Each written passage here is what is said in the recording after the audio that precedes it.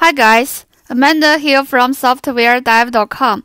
In today's video, I'm going to show you how to change the iPhone's GPS location on iOS 17 or later on a Windows PC. The iPhone 14 is on iOS 17.3. Let's change the GPS location on it. First, I need to download and install this app on my Windows PC. On the home page, click Start and tick I agree. Then it requires you to connect your iPhone to your computer. Connect it with your USB cable and wait for a while. Later, when it pops up the screen, trust this computer or not, tap Trust and enter your passcode. On this screen, click Modify Location. Type the target location on the top left of the map or you can choose the destination from the search history. Then hit the Confirm Modify button.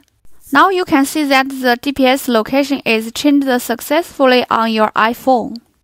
And you can click the map to change your spot on the map. Using this app, you can also customize your routes on the map.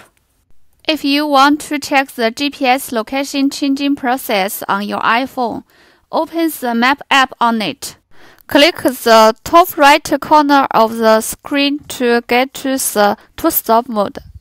We choose a spot as the start point and another spot as the ending point. Then we set up the motion speed as the cycling speed. Hit start mode and you can see the GPS location is changing simultaneously on the PC screen and the iPhone screen. You can see that the GPS location is changing via the customized routes. The app also offers the joystick mode, which helps a lot, especially when you play the geo-based games like Pokemon Go.